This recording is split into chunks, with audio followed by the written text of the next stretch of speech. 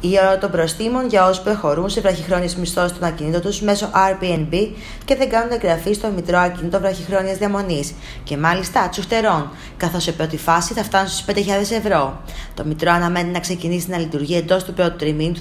2018 και η εγγραφή θα πρέπει να γίνει για βραχυχρόνιες μισθώσεις, οι οποίες συνάπτονται από την 1η Ιανουαρίου του 2018 και μετά.